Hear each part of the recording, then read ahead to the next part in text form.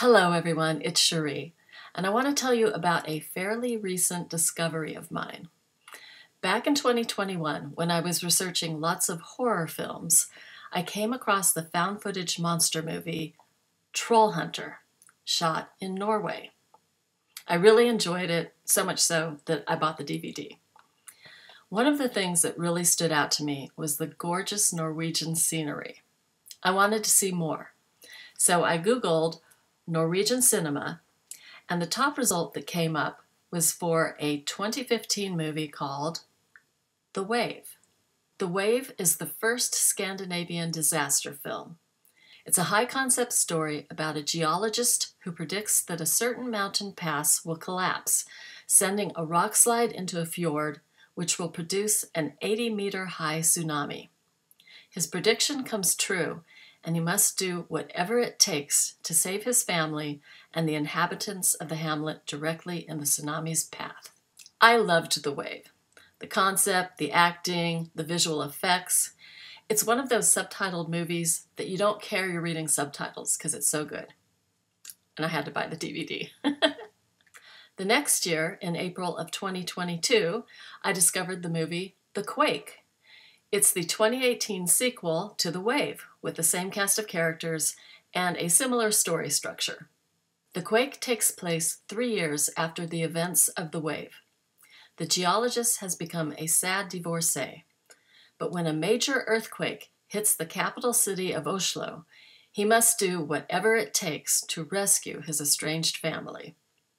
There are more set pieces in this one. High rises topple, Oslo is leveled.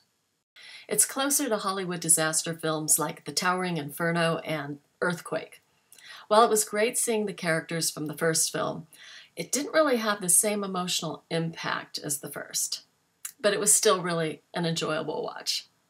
Then, just recently, in June of 2024, I discovered two more Norwegian disaster films The Tunnel and The Burning Sea. The Tunnel came out in 2019.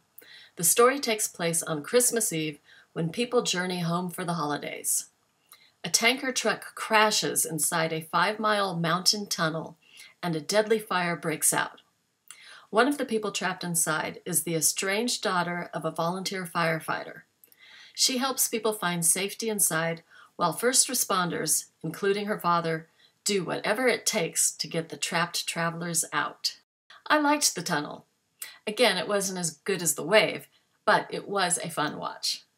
And finally, The Burning Sea by the same director of The Quake. Released in 2021, The Burning Sea takes place in the North Sea. Due to 50 years of offshore drilling, a crack opens on the ocean floor and an oil rig collapses. A robotic submarine operator must do whatever it takes to rescue her boyfriend after he becomes trapped underwater in the aftermath. It was shot on real rigs and the snake-like underwater robots are real as well. Again, a fun movie, though not as great as The Wave. so to summarize, Norwegian disaster cinema is filled with large-scale visual effects and intimate family drama. What I really like about the genre is that there are no real bad guys. It's just people combating the forces of nature in order to save their fellow human. Have you seen The Wave, The Quake, The Tunnel, or The Burning Sea? Let me know in the comments below. As always, thank you for watching and have a safe day.